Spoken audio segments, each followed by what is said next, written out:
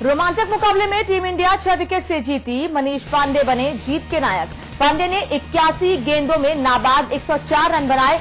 रोहित शर्मा ने निन्यानवे रन बनाए। भारत की सीरीज़ में यह पहली जीत है। आपको बता दें कि पहले ऑस्ट्रेलिया की टीम आगे चल रही थी और भारतीय टीम लगातार हार का सामना कर रही थी। तीसरा मैच भारत के हाथ से निकला दूसरा, पहला और चौथा मैच भी भारत के हाथ से निकला।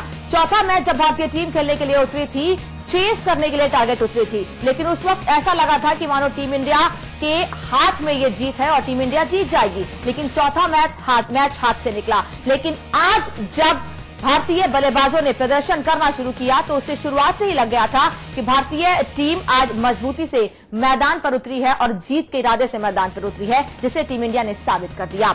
टीम इंडिया ने सिडनी में हुए सीरीज़ के आखिरी मैच में ऑस्ट्रेलिया को छह विकेट से हरा दिया। टीम इंडिया इंडिया के लिए मनीष पांडे ने अपना पहला शतक लगाया, जबकि रोहित शर्मा ने निन्यानवे और शिखर धवन ने अठहत्तर रनों की पारियाँ खेली। मनीष को उनके शतक के लिए मैन ऑफ़ द मैच जबकि सीरीज़ में 400 से ज़्यादा रन बनाने वाले रोहित शर्मा को मैन ऑफ़ द सीरीज़ चुना गया। पहले बैटिंग करते हुए ऑस्ट्रेलिया ने सात विकेट के नुकसान पर 330 रन बनाए थे। भारत के लिए इस मैच से डेब्यू करने वाले जसप्रीत बुमराह ने अच्छी गेंदबाजी करते हुए 10 ओवरों में 40 रन देकर दो विकेट हासिल किए।